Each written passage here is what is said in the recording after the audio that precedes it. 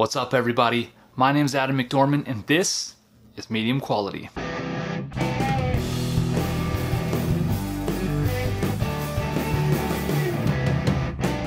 So I'm back again to keep talking about progressive rock because you asked for it. Okay, maybe you didn't ask for it, but this is my YouTube channel, and you have yet to stop me. In the last couple of videos about progressive rock, I talked about how I got introduced to the genre when a friend of my dad sent home a CD with a bunch of really good bass players on it. And then eventually that primed me to become completely enamored with Yes when I finally heard Close to the Edge. And how in between those two periods of time, I was subsisting on these burnt CDs that would just mysteriously and without warning descend from the heavens when my dad's friend would send a burnt CD home with him. And I really had no way of finding new progressive rock. This was well before the advent of high speed internet. This was well, well before the ubiquity of streaming music services. If I wanted to hear about some new progressive rock, I didn't know where to look for it. It would just show up, or I would find out about it almost by accident. And that put my experiences with progressive rock in sharp contrast to the other side of my musical interest. I mentioned before how my musical journey was like a two lane highway. On one hand, I had my interest in mostly Christian pop punk, and that graduated into harder and harder styles of music, but it was always communal. There was always someone that I knew, a friend, a bandmate, who was introducing me to new music. And I have tons of stories to tell about where that led me. Meanwhile, my time with progressive rock was always very solitary, almost lonely in a way. In some sense, it was like this treasure was for me and me alone. And in a way, that was cool because I had something that none of my other friends had. They weren't interested whenever I'd put on a Dream Theater CD for my hardcore friends. They were like, get this trash out of here. So I listened to it by myself. And I very, very rarely ever encountered another person who was into progressive rock. In fact, I could probably count the number of people that I have personally known who have been into prog rock on like one hand.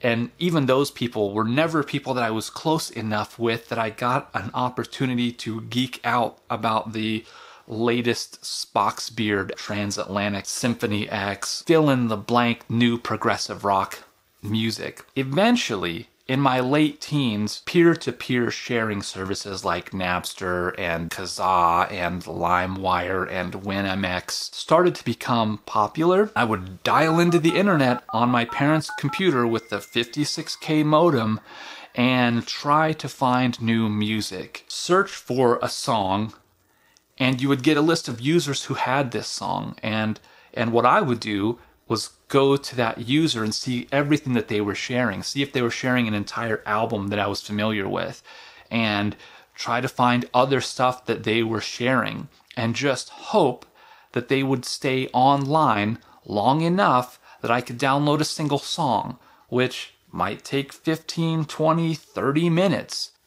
Sounds crazy, but that was what it was like to be into prog rock in the late 90s. And to this day, I don't know any prog rock fans in real life. So let's talk about five prog rock albums that I discovered on my lonely journey. Now we're going to start with what may very well be grounds for an argument as to what constitutes progressive rock. This is I, Robot by the Alan Parsons Project. Now I say that because this bears very little resemblance to Close to the Edge by Yes, or Selling England by the Pound by Genesis, or even In the Court of the Crimson King by King Crimson. This album probably is funkier, it's more, dare I say, even proto disco. I could be wrong about that, don't at me. Alan Parsons is well known for being an extraordinary producer with some pretty big albums in his repertoire. And it's no surprise that when you get to his work with the Alan Parsons Project, that his attention to production details is probably front and center. And I think it's that intricacy and that attention to detail that makes this progressive. It is not simply a pop album, it is not simply a rock album. Uh, he brings a certain lavishness to this album that you see in those great progressive rock albums, in the way that many of those albums are very detailed in their compositions.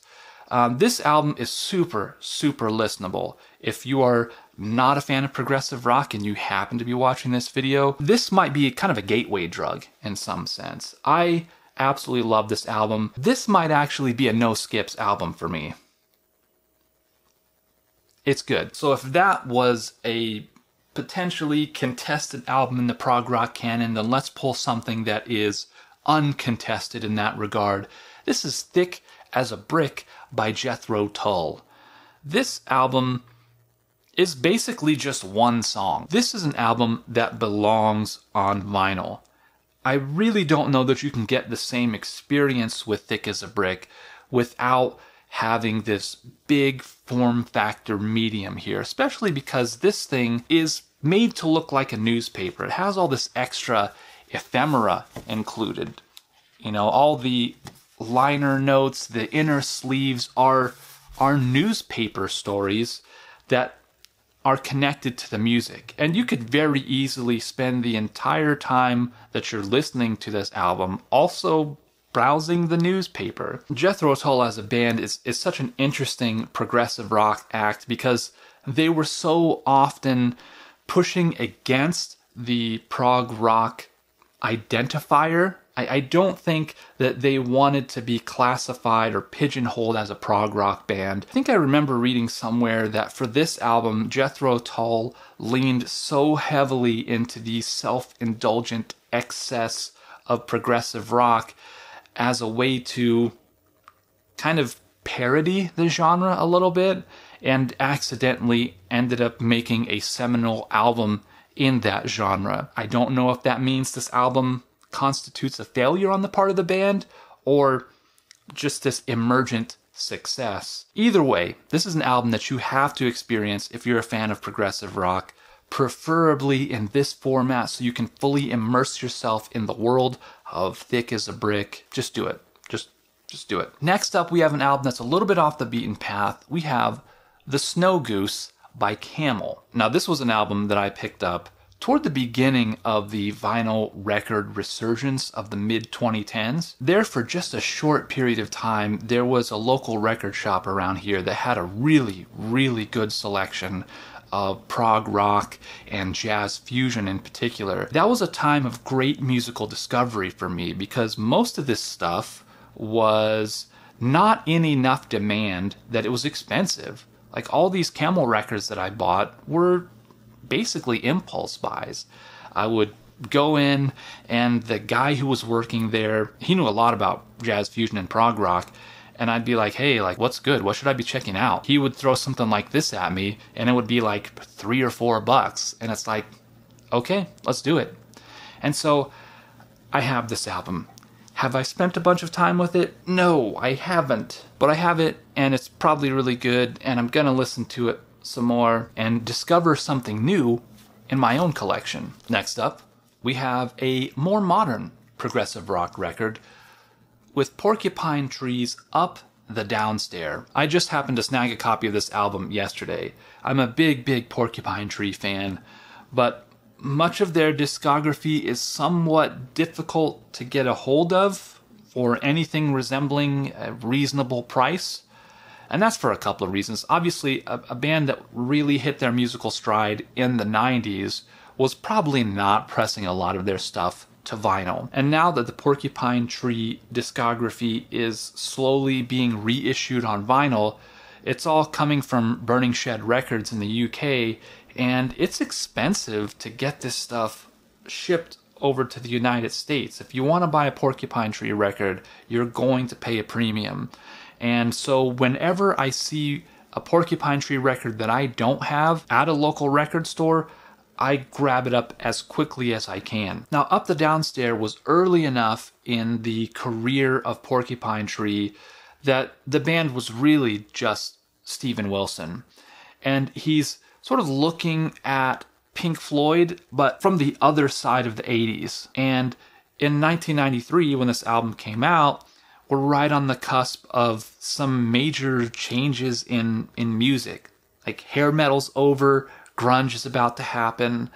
Um, there's less a focus on like shredding and more of a focus placed on building a kind of sonic experience. And that's why it seems to be reaching back through time, borrowing kind of the almost methodology of Pink Floyd, but applying that methodology to the tools, techniques, and musical tastes of Steven Wilson. Uh, and you see that kind of spacious experimentation here, but almost tipping its hat a little bit toward what to come, toward a heavier, grungier kind of sound. In any case, I'm super glad I found this to help fill in a little blank spot in my Porcupine Tree collection. Obviously, if you want to hear me talk about Porcupine Tree more, happy to do so. Drop down in the comments and let me know. And lastly, an album of which we might ask, is this actually progressive rock? The Hazards of Love by the Decemberists. Now, this might seem like a wild choice to include in a prog rock showcase, but I would argue that it's a perfect choice to include here especially in a video where we've already talked about Jethro Tull. In some alternate universe where Jethro Tull is like the penultimate progressive rock band instead of Yes or Genesis or King Crimson or Rush. Uh, this would be the legacy of progressive rock. This album features so many of the touchstones of classic progressive rock it just doesn't sound like a progressive rock album. You could almost view this album as the opposite of Porcupine Tree, where we've traced the lineage of progressive rock all the way back to its English countryside roots and then skipped the 80s completely and are left with a very earthy sounding album. You are not going to hear a single synthesizer on this thing. You are not going to hear a shredding electric guitar solo. But you will hear what I would describe as a very indie folk kind of sound, but with all of the grand ambition and fabled pomp of the early progressive rock bands. Is it progressive rock? Probably not. But would a progressive rock fan find a lot to love about this album? Absolutely. Don't take my word for it. Go find it on Spotify and listen to it. It's really good. Guys, that's going to do it for this video. If you liked it, please give it a thumbs up. If you want to see more, make sure you hit that subscribe button. And if you're really invested in what I'm doing on this YouTube channel, then I'm going to put a link in the description section below where you can get some pretty cool medium quality merch. And until next time, guys, keep spending that good stuff. What a time to be alive.